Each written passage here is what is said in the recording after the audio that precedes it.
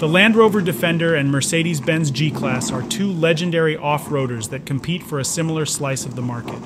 Despite their considerable difference in pricing and marketing, these vehicles captivate enthusiasts with their unique appeal. While many comparisons are based on personal feelings and numbers on paper, a comprehensive evaluation of their performance is essential. Both the Land Rover Defender and Mercedes Benz G Class share a Bauhaus styling and unparalleled off road capability.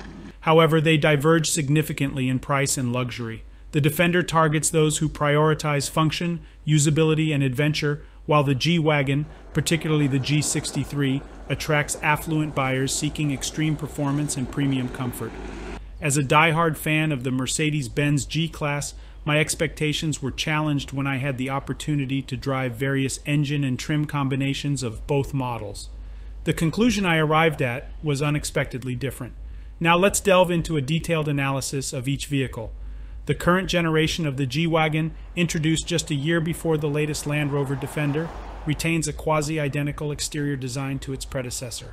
The most significant changes include an independent suspension, modern safety features, and a switch from recirculating ball to electrically assisted rack and pinion steering.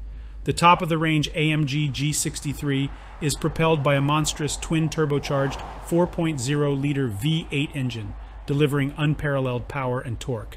While the G Class excels in off road performance and luxury, it falls short in practicality. Its larger dimensions and limited turning circle make city driving and parking challenging. The steering can feel cumbersome, and the unique body shape affects the driving experience, creating a sensation akin to steering a boat. Additionally, the spare wheel, although not full size, presents limitations and compromises. Unlike its predecessor, the current Land Rover Defender is built on a unibody platform, sharing components with other Range Rover models. It offers two locking differentials, adjustable ground clearance, and air suspension. The Defender's smaller turning circle, spacious interior, and practical features, including functional options like a fridge, air compressor, retractable side steps, and even a tent, enhance its versatility. While the Defender may lose in drag races against the G63 and has some minor build quality differences, it excels as a daily off-roader and a capable on-road SUV. It strikes a balance between sportiness and functionality, providing a more comfortable and practical driving experience. The battle between the Land Rover Defender and Mercedes-Benz G-Class is fierce, with each vehicle possessing its strengths and weaknesses. The G-Class dominates with its luxury, power, and heritage, while the Defender impresses with its practicality, versatility, and impressive off-road capabilities.